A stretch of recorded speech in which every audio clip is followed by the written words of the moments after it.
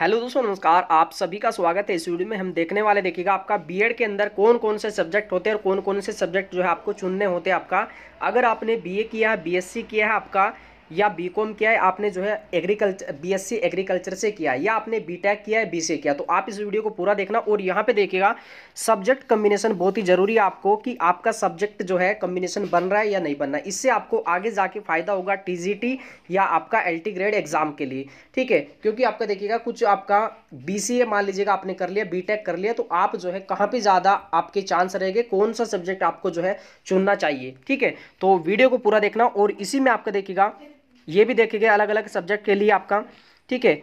और यहाँ पे देखिएगा एलटी के लिए क्या सब्जेक्ट कम्बिनेशन होना चाहिए? देखिएगा, और आपका एक साल का बीएड आपका देखिएगा। जो भी चर्चा में कि ये आपका जो है कब तक शुरू होगा, यहाँ पे एक क्वेश्चन हो रहा है आपका देखिएगा कि 2022 के अंदर आपको बीएड करना चाहिए, आप बीटीसी करना चाहिए। कुछ क्वेश्चन आपके ये भी है कि आपका ज़्यादा परसेंटेज आपका बी में बनेगी या आपका बीटीसी के अंदर बनती है। प्रैक्टिकल मार्क्स कहाँ पर ज़्यादा दिए जाते हैं? तो इन सभी चीज़ों पर हम जो है इसमें चर्चा करने वाले हैं। और ये सब्जेक्ट आपको देखना बहुत ही ज़रूरी है। और देखिएगा, अगर आप 2022 में जो है, कला वर्ग से आप जो है बीएड एंट्रेंस की तैयारी कर रहे हैं तो ये आपका जो चक्षु पब्लिकेशन का ये प्रैक्टिस सेट है तो आप इसको ले सकते हैं। इसमें आपको जो है, पंद्रह प्रैक्टिस सेट और पिछले पाँच वर्षों के आपको सोल्ड पेपर मिल जाएँगे। पूरा जो प्रैक्टिस सेट आपका कला वर्ग के लिए आपका जो है, इसमें तैयार किया गया पूरा एक्सप्लेनेशन के साथ। ठीक है? तो यहाँ पे देखिएगा अलग अलग सब्जेक्ट को बहुत ही अच्छे से एक्सप्लेन किया गया इसमें। और देखिएगा यहाँ पे जो है, कला वर्क के प्रैक्टिस सेट के साथ साथ जो स्टडी गाइड बुक आती है, चक्षु पब्लिकेशन की, आप इसको भी ले सकते हैं। काफ़ी अच्छी ये बुक है इसमें। और इसमें लगभग आपको सत्ताईस सौ इंपॉर्टेंट क्वेश्चन देखने को मिलेंगे आपके पूरा सब्जेक्ट वाइज होकर ये बुक और प्रैक्टिस सेट कहीं से भी आप ले सकते हैं कि भी, किसी भी बुक स्टोर से। बाकी देखिएगा डिस्क्रिप्शन में लिंक है, वहाँ से भी जाके आप इसको जो है ऑनलाइन मंगा सकते हैं। चलेगा तो आप जो है एक एक पॉइंट को ध्यान से देखेगा यहाँ पे। सबसे पहले यहाँ पे जो दिया है इसमें, देखिएगा, अगर आपने बीए किया है या आपने जो है बीएससी होम साइंस से किया तो आपको जो है बीएड के अंदर कौन कौन से सब्जेक्ट मिलेंगे आपको जो है कौन सा लेना चाहिए?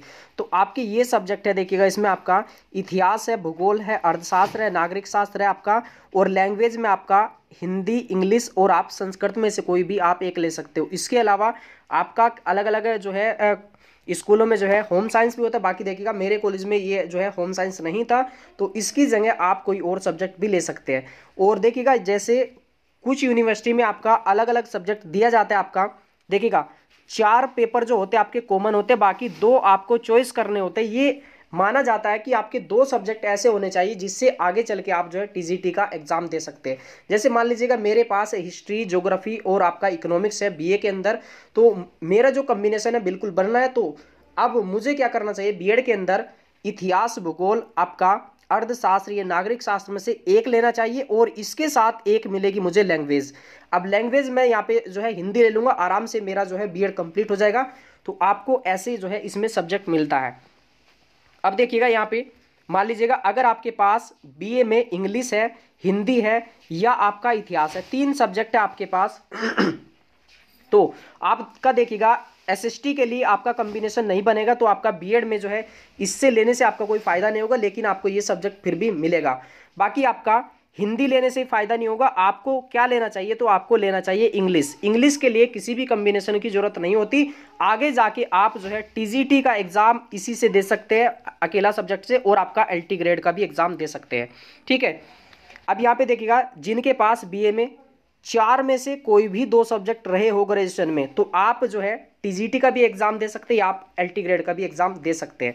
बाकी यहाँ पे अगर आपके पास जो है हिंदी या आपका जो है भूगोल या आपका होम साइंस है तो आपका, देखिएगा, हिंदी का भी कम्बिनेशन आपका नहीं बनेगा, भूगोल का भी आपका एसएसटी के लिए जो है नहीं बनेगा तो आपको क्या लेना चाहिए? आपको होम साइंस में ज़्यादा मेहनत करनी चाहिए बीएड के अंदर, और आगे जाके आप टीजीटी का एग्ज़ाम जो है आप होम साइंस से देंगे और आपका एल्टी ग्रेड का भी एग्ज़ाम ठीक है? तो ऐसे आप इनमें से कोई दो सब्जेक्ट चुनना जो आपको आगे जाके हेल्प करे। ठीक है? बाकी अगर आपने देखिएगा बीएससी किया है या आपने बीटेक किया है तो आपके पास क्या क्या ऑप्शन रहेगा? तो आपके पास ऑप्शन रहेगा, आप जो है फिजिक्स ले सकते हैं केमिस्ट्री ले सकते हैं बायोलॉजी ले सकते हैं, या आप जो है मैथ ले सकते हैं। इन चार में से कोई भी आप दो सब्जेक्ट ले सकते हैं। ठीक है? अगर आपने बीटेक किया होगा कंप्यूटर साइंस से तो आप जो है बीएड के अंदर जो है कंप्यूटर ले लेना, ठीक है? इसके साथ साथ आप जो है मैथ्स वगैरह ले लेना, ठीक है? या आप जो है केमिस्ट्री वगैरह ले सकते हो दो सब्जेक्ट में।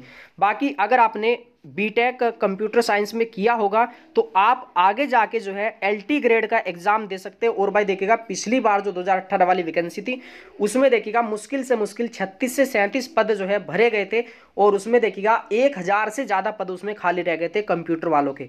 ठीक है, बाकी देखिएगा टीजीटी के अंदर कंप्यूटर नहीं होता है सब्जेक्ट आपका। ठीक है तो आप कोई भी इसमें से दो सब्जेक्ट ले सकते हो, बाकी आपका कंप्यूटर वगैरह आपको मिलेगा, आपके कॉलेज में होगा तो ठीक है?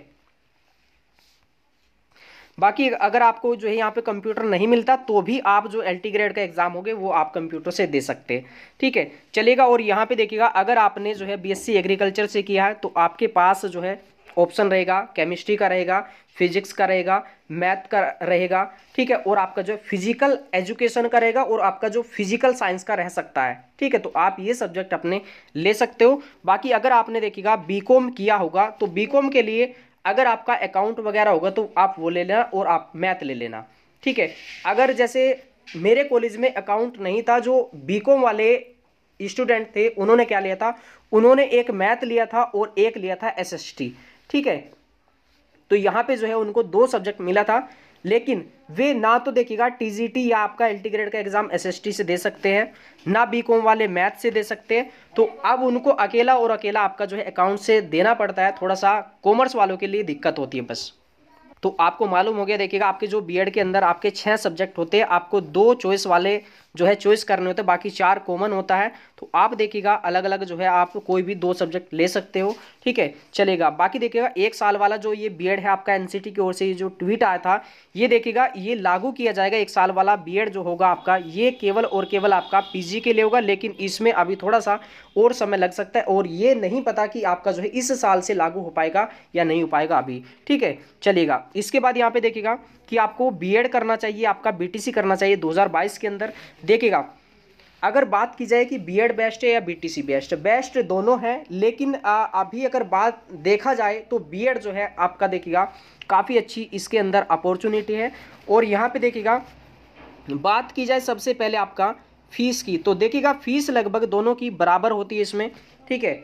और इसके अलावा प्राइवेट देखिएगा दोनों में लगभग जो है पचास हज़ार के आसपास लगता है। फ़र्स्ट ईयर के अंदर चालीस हज़ार, पचास हज़ार और बाकी सेकेंड ईयर के अंदर भी इतना ही लगता है। बाकी अगर आप जो है फ्री सीट से करते हो तो आपका जो है बीएड के अंदर दो से चार हज़ार में हो जाता है और आपका बीटीसी भी इतने में ही जाता है। अब यहाँ पे आपके कमेंट आएँगे कि सर हमारी जो है बीएड के अंदर दस हज़ार रुपये फ़ीस है, या आपकी छः हज़ार है तो अलग अलग कॉलेज में होता है फ़ीस ठीक है, थोड़ा सा डिफरेंस होता है इसमें। बाकी देखिएगा, अगर बात की जाए कि आपका जो है बीएड के अंदर कितनी बार पेपर होते हैं? बीएड के अंदर जो है आपका दो बार जो है पेपर इसमें कराया जाता है। कुछ यूनिवर्सिटी जो है इसको चार सेमेस्टर के द्वारा भी कंप्लीट करती है। बाकी बीटीसी में आपका जो है चार सेमेस्टर होता है इसमें। तो बाकी आपका, ठीक है, आपने देखा। इसके बाद आपका जो है, फ़ायदा जो है आपका इसमें किसमें ज़्यादा होगा?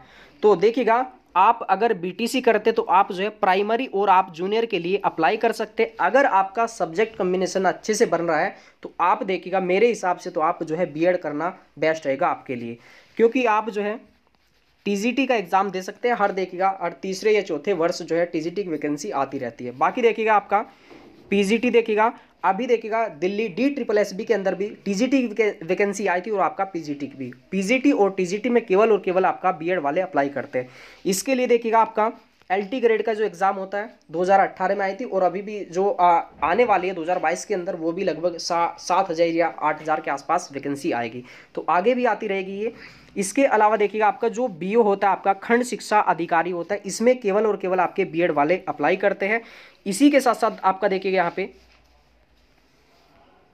जैसे अदर स्टेट में जो वैकेंसी निकलती है, जैसे राजस्थान है और भी आपका स्टेट है तो वहाँ पे भी आपका बीएड वाले अप्लाई कर सकते हैं। आपका जो है, इसमें छः से आठ ही आपका जो है टीजीटी वगैरह में, ठीक है? इसके बाद यहाँ पे देखिएगा, आपकी जो परसेंटेज है, आपका देखिएगा परसेंटेज ज़्यादा कहाँ पे बनेगी? तो भाई आपका यहाँ पे भी ज़्यादा बनती है, यहाँ पे भी ज़्यादा बनती है आपकी। लेकिन आपकी बच्ची की मेहनत के ऊपर जो है, यहाँ पे डिपेंड करता है।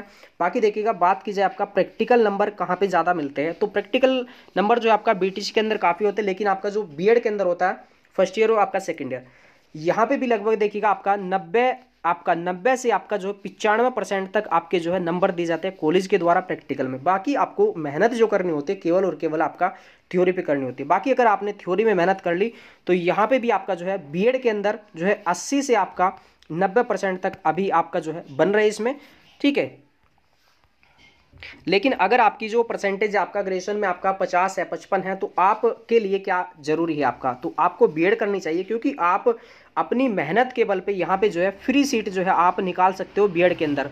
लेकिन आपका बीटीसी अगर आप करोगे और परसेंटेज भी आपका ज़्यादा नहीं तो यहाँ पे आपकी जो देखी जाएगी मेरिट आपकी टेंथ की देखी जाएगी, आपकी ट्वेल्थ की देखी जाएगी और आपकी ग्रेजुएशन की मेरिट देखी जाएगी। इसके आधार पर आपको जो है सीट आपको जो है प्रोवाइड की जाएगी इसमें। इसके बाद यहाँ पे देखिएगा आपका जो है ये बी एड एंट्रेंस जो आपका कितने नंबर का होता है, आपका देखिएगा।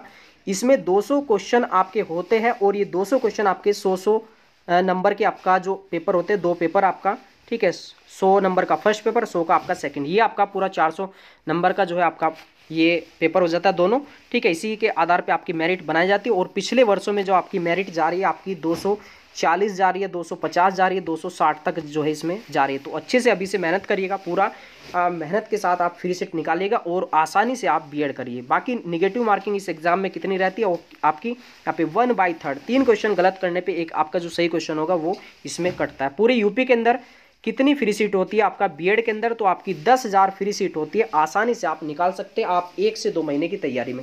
ये देखिएगा, जो मेरा जो रैंक था आपका, इकतीस रैंक आया था। और मेरा जो बी एड में जो फ़ीस लगा था फ़र्स्ट ईयर के अंदर जो है